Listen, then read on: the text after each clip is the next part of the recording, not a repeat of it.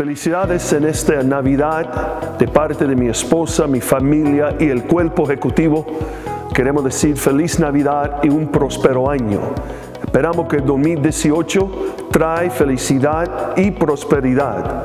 Declaramos en el nombre de Jesús que el año 2018 va a ser el año de nuevos principios.